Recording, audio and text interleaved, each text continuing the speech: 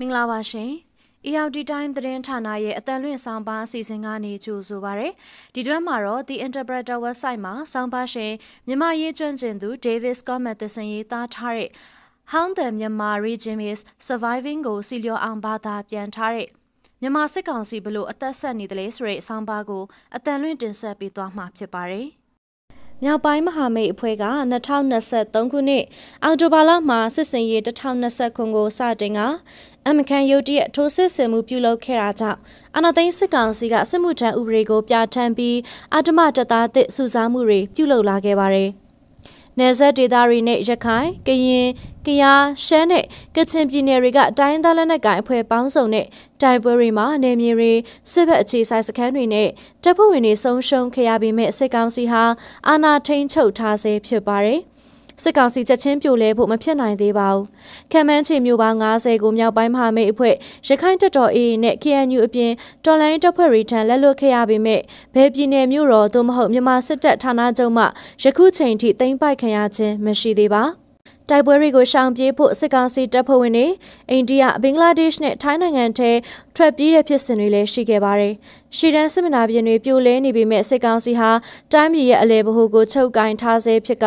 လေကြောင်းအင်အားနဲ့စစ်လက်နက်ထုတ်လုပ်ရေးကိုမိခိုနေပါတယ်။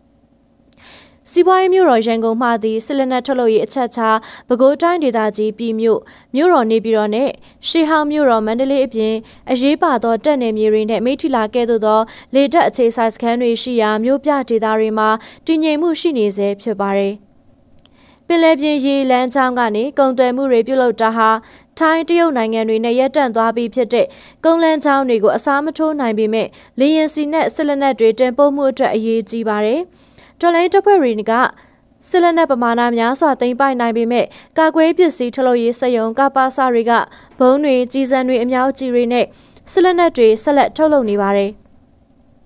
မြန်မာနိုင်ငံအလဲပိုင်းကယာနဲ့ချီတဲ့စစ်လက်နက်ထုတ်လုပ်ရေးစက်ရုံတွေနဲ့တည်ယူပို့ဆောင်ရေးကွန်ရက်တွေကြောင့်မြန်မာစစ်တပ်ဟာနေရာများစွာမှာဘုံကျဲတိုက်ခိုက်မှုတွေတိုးမြင့်လှုံ့ဆော်နေစေပါ။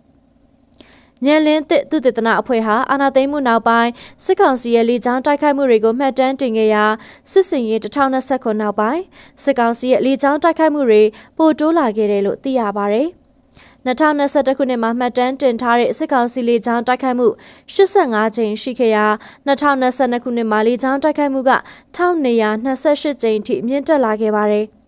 စက်တင်ဘာလမှဒီဇင်ဘာလကုန်ထိ122ရက်တွင်စစ်ကောင်စီဟာ လေကြောင်းတိုက်ခိုက်မှု950ကြိမ်ထိတရက်လျင်6ကြိမ်နှုန်းလှုပ်ဆောင်ခဲ့ပါတယ်။စစ်ကောင်စီရဲ့လေကြောင်းတိုက်ခိုက်မှုတွေကြောင့်လူသေးကြေမှုမြင့်တက်လာခဲ့ပြီး2021ခုနှစ်အရက်သား63ဦးသေဆုံးက42ဦးဒဏ်ရာရှိခဲ့ပါတယ်။2022ခုနှစ်မှာစစ်ကောင်စီရဲ့လေကြောင်းတိုက်ခိုက်မှုတွေကြောင့်အရက်သား260ဦးသေဆုံးခဲ့ပြီး85ဦးဒဏ်ရာရှိက2023ခုနှစ်အတွင်းသေဆုံးသူ613ဦးနဲ့ဒဏ်ရာရှိသူ952ဦးအထိရှိလာခဲ့ပါတယ်။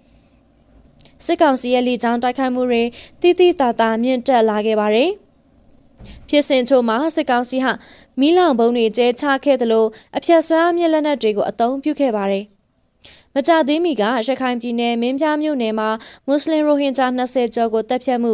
ရှမ်းနယ်တောင်ပိုင်းစီဆိုင်မြို့နယ်ကိုမီးလောင်တိုက်သွင်းမှုကစစ်ကောင်စီရဲ့အပြက်ဆွဲအားနဲ့လက်နက်ကြီးပုံမိုအသုံးပြုမှုလက်နက်တပ်ဒရုန်းတွေတိုးမြင့်သုံးလာမှုကိုမိမောင်းထိုးပြနေပါတယ်။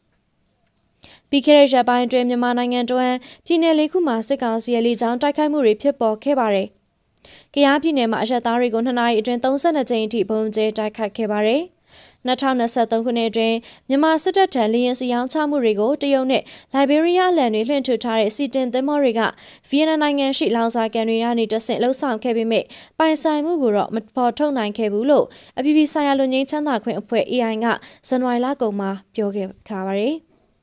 2024ခုနှစ်ဖေဖော်ဝါရီလ1ရက်နေ့မှာဩစတြေးလျနိုင်ငံကမြန်မာစစ်တပ်ကိုလေယာဉ်စီထောက်ပံ့နေတဲ့မြန်မာကုမ္ပဏီ၃ခုကိုဒဏ်ခတ်ပိတ်ဆို့ခဲ့ပါတယ်။အမေရိကန်နိုင်ငံဟာအာဏာသိမ်းမှုနောက်ပိုင်းမြန်မာစစ်တပ်ထံဆက်လက်နက်တွေရောင်းချတဲ့နိုင်ငံခြားကုမ္ပဏီတွေကိုတန်ခတ်အရေးယူခဲ့ပေမဲ့လေယာဉ်စီတင်ပို့တဲ့ကုမ္ပဏီတွေကိုတော့2023ခုနှစ်မတ်လနဲ့ဩဂတ်လအတွင်းတန်ခတ်ပိတ်ဆို့ခဲ့ပါတယ်။